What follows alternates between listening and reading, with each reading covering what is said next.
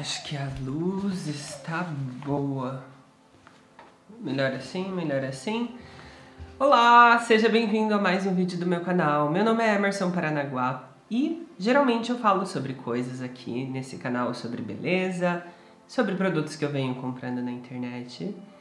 E hoje eu gostaria de trazer um pouquinho sobre fotografia. Se você não sabe, eu trabalho com fotografia já faz um bom tempo, desde 2012.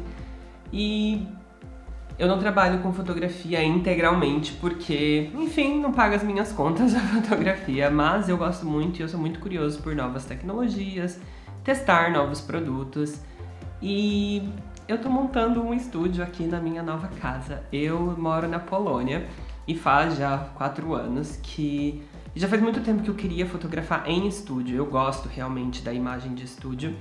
E aí eu comecei a comprar coisas devagarzinho, porque né? Fotografia é uma coisa cara e coisas são caras. Então, para começar a falar sobre esse tópico aqui no canal, eu queria trazer uma modificação que eu fiz, uma ideia que eu encontrei na internet, e é em inglês. Então eu sei que às vezes as pessoas não falam inglês, mesmo vendo o vídeo é simples, mas é bom ter uma, uma coisa em português para vocês se espelharem ou entenderem, tá certo? Então, se der tudo certo com isso, a gente pode continuar fazendo mais vídeos sobre, sobre fotografia. Vocês me deixem saber aqui nos comentários embaixo. E também não se esqueça de se inscrever no canal, porque é bom que aí eu vou sabendo se tá dando certo, dar um like também ajuda, tudo ajuda. Tô testando um microfone novo também, então eu não sei se o áudio vai ficar bom. Mas vamos lá falar sobre isso. O que eu tive a ideia é de que, como eu morei nesse apartamento, ele é alugado, eu não posso fazer nenhuma modificação, incluindo furar parede, descascar a parede, qualquer coisa que tenha que fazer um buraco dentro da parede não é bom, porque depois eu tenho que arrumar e não é muito legal. Então, o que eu vim com a ideia era tentar organizar os rolos de fundos que eu tenho para que eles fiquem numa forma fácil de eu vê-los, fique numa estética bonita e principalmente usual. Eu preciso que as coisas funcionem caso eu precise trocar um fundo. E eu não quero deixar espalhado pela casa porque não é bom, ok? Então eu tava pesquisando na internet, eu lembro que eu tava numa madrugada e aí eu tirei um print e eu achei o print agora, se chama Rob Green. Eu vi essa inspiração no dele. Então, o que eu tava buscando? Alguma forma que eu pudesse deixar uh, os rolos em pés e os rolos que eu conseguisse pegar de uma forma muito mais prática.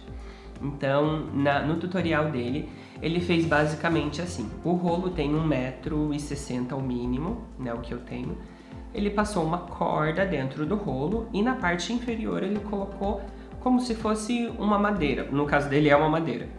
Só que eu não tenho madeira aqui, eu não ia conseguir fazer isso com a madeira, então eu inventei do meu jeito.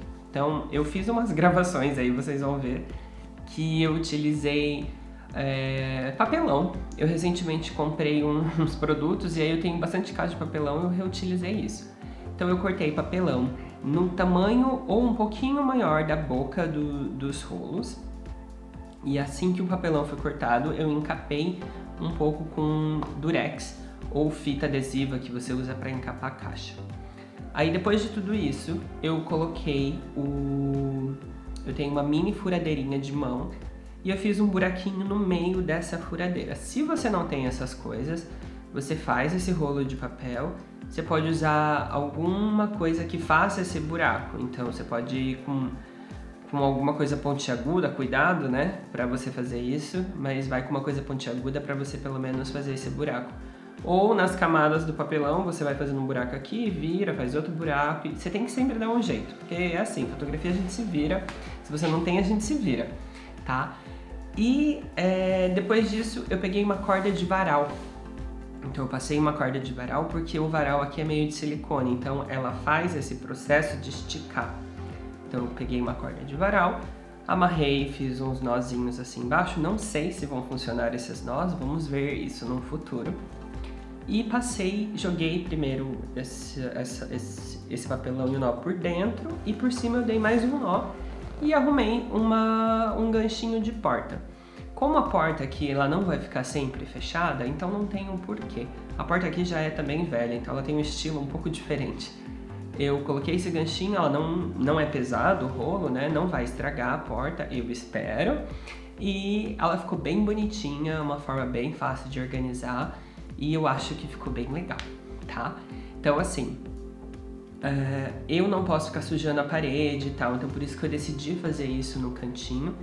Existem outras formas que eu vi na internet que você pode fazer um colar uma parte de borracha atrás da parede, ou você pode pegar uma sapateira e aí você faz os buracos da são quatro sapatos, você faz o buraco nos dois do meio, passa o rolo. Então assim, existem N formas para você fazer, formas bonitas, formas feias, formas baratas, formas práticas e não práticas.